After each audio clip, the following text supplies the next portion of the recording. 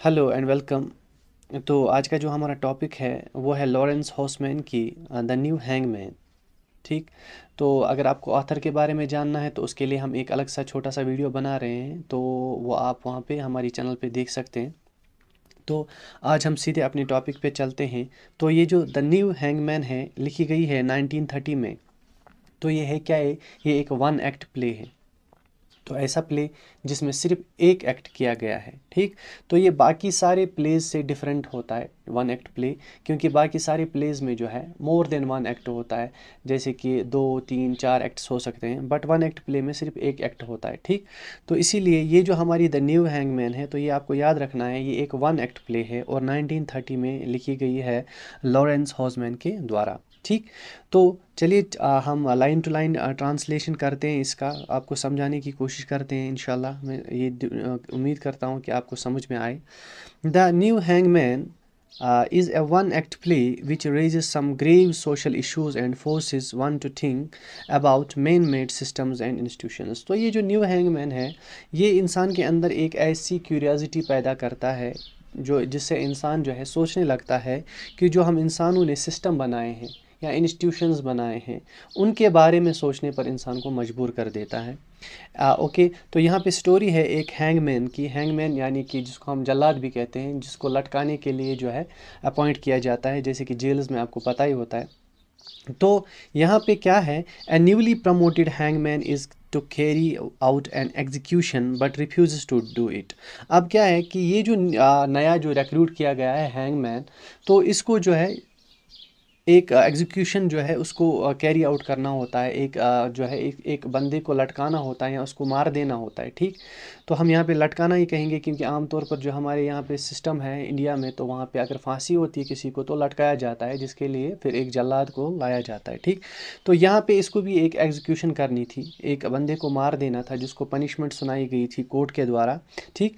तो इसको इसको जो है किल करना था एग्जीक्यूट करना था। बट ये जो बंदा है, ये ऐसा करने से टोटली इनकार कर देता है। दो he arrives on time at the prison where the execution is to take place okay तो ये क्या करता है? तो ये हालाँकि जो है, अपने वक्त पर ये उस प्रिजन में पहुँच जाता है, जहाँ पे इसको ये एग्जीक्यूशन जो है, वो करनी होती है। ये जो एक्ट है, इसको ये जो काम, इसका अपना प्रोफेशन है, इसको परफॉर्म करना है वहाँ पे तो ये टाइम पे वहाँ पे पहुँच जाता है, मगर ये वो काम करता नहीं है। क्यों? He does not go ahead with his duty तो वो अपनी ड्यूटी करने से इनकार कर देता है। Surprised and angered by his decision the governor demands reason for his insubordination ठीक? तो अब क्या है जो वहाँ पे इनका ऑफिसर होता है, ठीक? तो वो ये गवर्नर होता है, वो इस बात से जो है बहुत खफा हो जाता है, हैरान भी हो जाता है, क्योंकि इस बंदे को रखा ही इसलिए गया है कि एग्जीक्यूट कर सके किसी बंदे को। बट जब इसने अपनी ड्यूटी करने से इनकार कर दिया तो वो गवर्नर जो है इसके इस हरकत से जो है इसकी इस नाफरमानी इन सबॉर्डिनेशन होता है नाफरमानी यानी कि, कि अपने जो ऑफिशल्स होते हैं हायर ऑफिशल्स होते हैं उनके उनका हुक्म जो है नहीं मानने को हम सब इन सबॉर्डिनेशन कहते हैं ठीक? तो गवर्नर जो है वो डिमांड करता है क्या करता है? रीज़न यानी कि उसके लिए एक एक्सप्लेनेशन निकालता है उससे पूछता है कि भाई अगर आपको हमने किसी चीज़ के लिए यहाँ पर अपॉइंट किया है जो आपकी ड्यूटी है तो आपने उस चीज़ से करने से क्यों इनकार कर दिया ठीक? The hangman candidly expresses his misgivings about capital punishment, which, according to him, is an inhuman practice. तो हैंगमैन जो है, ये क्या करता है? ये अपनी जो है एक्सप्लेनेशन देता है। क्यों जो इसको लगता है कि जो इस, क्यों ने, इसने अपना काम परफॉर्म नहीं किया? क्यों इसने वो हुक्म जो है, जो इस जो जो इसको मानना था, उससे इसने मानने से इनकार कर दिया? तो ये अपनी रीज़न दे, अपना एक रीज़न देता है, अपनी एक्सप्लेनेशन देता है। और ये इसमें कहता है कि जो पनिशमेंट हम इंसान जो हैं, दूसरे इंसानों को देते हैं इसके मुताबिक वो क्या थी? वो एक इन ह्यूमन प्रैक्टिस थी। यानी कि इंसानियत से जो वो बहुत दूर थी। ऐसी आ, वो पनिशमेंट होती थी ऐसे मतलब वो सज़ा होती थी जो कोसों दूर होती थी एक इंसानियत से। ठीक? Despite knowing that he can be punished for this act the hangman goes ahead with his plan तो उसको ये पता भी था कि अगर मैं इनकार करता हूँ कि मैं अपने जो हायर ऑफिशल्स हैं, उनका हुक्म मानने से मैं इनकार करता हूँ तो इसको ये पहले से पता था कि शायद इसके लिए उसे पनिश किया जाएगा। मगर फिर भी वो अपने जो, अपना जो उसका प्लान था, जो उसने आगे के लिए सोचा था, वो उसी के साथ जो है कंटिन्यू करता है। Vehemently denouncing the legal system, which forces a person to kill a fellow human being in cold blood. अब वो क्या करता है, vehemently क्या होता है कि इन ए फोर्सफुल और पैशनेट मैनर या विद ग्रेट फीलिंग जिसे हम कहेंगे, वो डिनाउंस करता है डिनाउंस होता है to declare publicly the legal system जो लीगल सिस्टम था, जिस जो एक इंसान को, दूसरे इंसान को मारने पर क्या मजबूर करता है, ठीक है? उसके खिलाफ इसने क्या पब्लिकली डिक्लेयर कर दिया कि इसे वो वाला सिस्टम जो है वो एक्सेप्ट नहीं है, ठीक?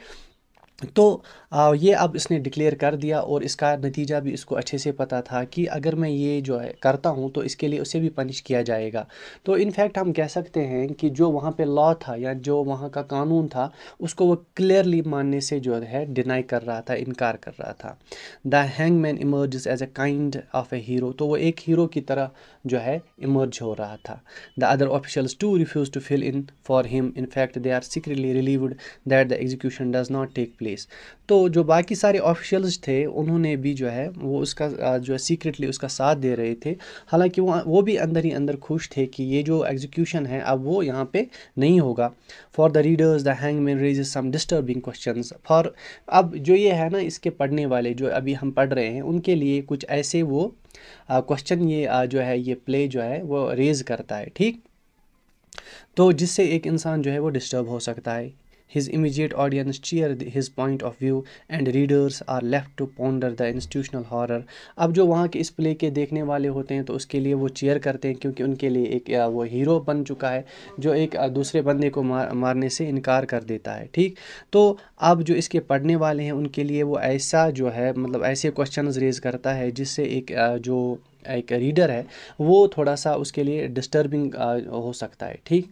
तो अब चलते हैं हम इसके करेक्टर्स के ऊपर और जो इसका प्ले है उसको हम पढ़ते हैं। लाइन टू लाइन में आपको मीनिंग समझाने की कोशिश करूँगा। अभी के पार्ट में हम बस इतना ही करते हैं। तो होपफुली मैं ये उम्मीद करता हूँ कि आप जो है आपको ये समझ में आया होगा। ये एक छोटी सी समरी है हम कह सकते हैं कि इस हैंगमैन की जिससे आपको थोड़ा सा आइडिया मिल गया होगा कि ये प्ले आ, कहता क्या है इस प्ले में हम। आ, क्या पढ़ने वाले हैं। तो अगर आप हमारे चैनल पर नए हैं तो हम प्लीज़ सब्सक्राइब कीजिए ताकि हम आगे चल के आपके लिए ऐसे ऐसे वीडियोज़ बनाते रहें।